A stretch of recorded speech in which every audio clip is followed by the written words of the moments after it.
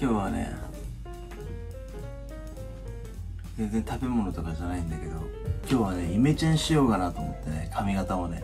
もうずっとねもう今こんな感じなの。中にねこうやって金でね上からかぶさってるような感じでめくると めくるとこういう金みたいなこっちも。めくると金みたいな感じでしかもねずっとねあの伸ばしてたからもう顔顔よりもねもう長いのよ髪が。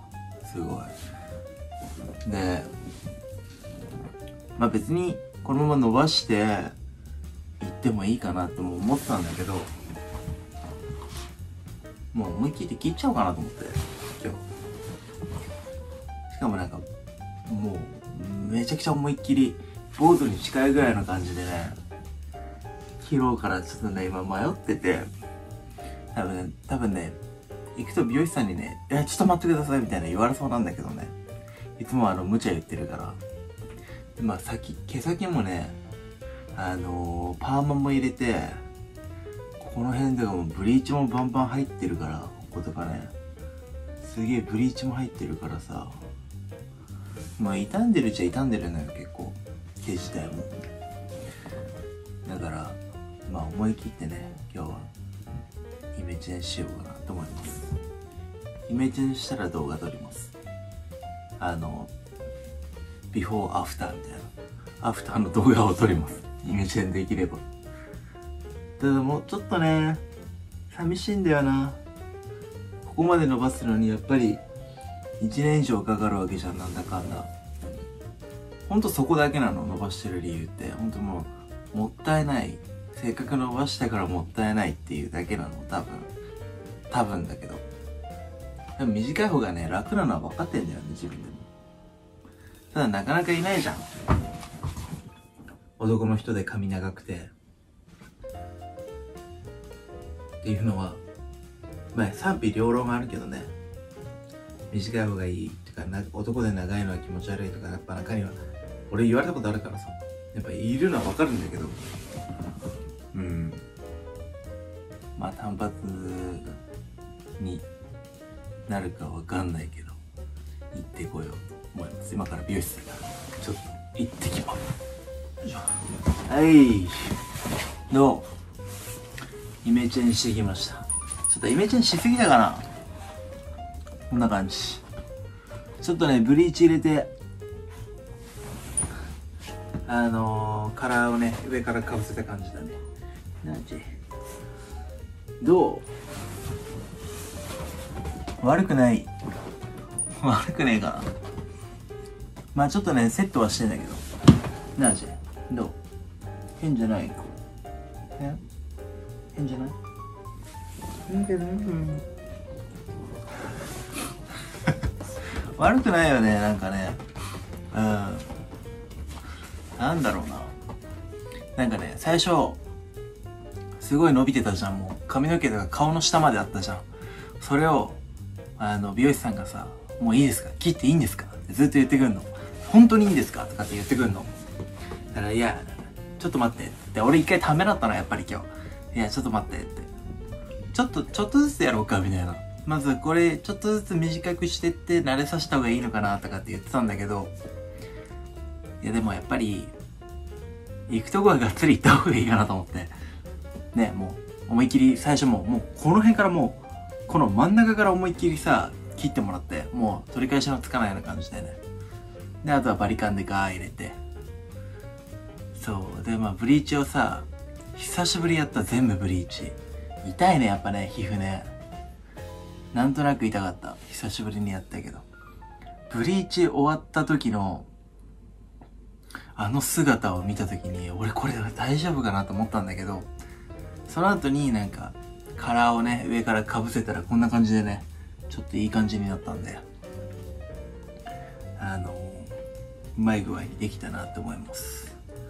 なじまあとりあえずねイメチェン。まあイメチェン成功ってことで。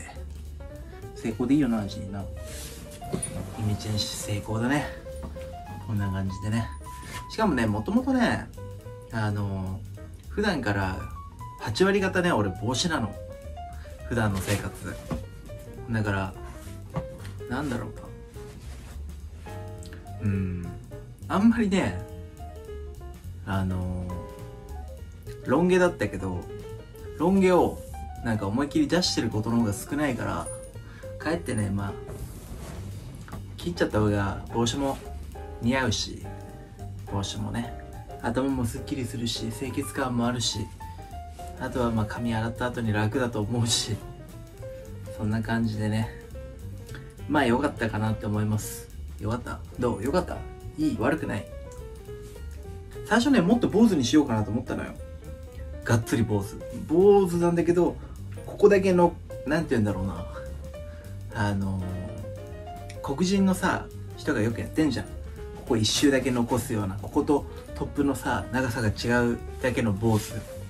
にするか色もなしで真っ黒でこんな感じにするかこれよりもまあもうちょっと伸ばして横は刈り上げてっていう風にやるかって迷ったんだけど、まあ、もうとりあえずもうがっつりやろうっつって。でも坊主はまあちょっと早いからうん。まあおしゃれな感じにしてって言ったらこんな感じになったまあ悪くないね。な。悪くねえなジン。変じゃない？変じゃない？でねよくねあの俺がロン毛の時にね使ってたスタイリング剤？まあこれ今ね美容師さんにつけてもらったから違うものなんだけどあのね普段使ってるのってねこれ使ってんのいつも。エレベート。エレベート 13F ってやつ。これだとねあのすごいキープ力があるんだよ。これアマゾンって俺アマゾンで買ったなアマゾンでも売ってるからすごいあのホールド力っていうかなんかねこれジェルなのよ、中は。ジェル。で、すごいね、固まんの、なんか。もうすぐ固まる。だから別にスプレーとかいらない。うん。で、俺があの、なんだろう、インスタで載っけてる写真とかもさ、ロン毛の時にこれをちょっとつけて、本当にすぐ乾くから、あの、まあ、すぐつけなきゃいけないんだけど、水でね、あの、元に戻るっていうか落ちやすいから、手についてカピカピになったら水でさ、ちょっと潤してあげれば、あの、無駄なく使えるんで。うん。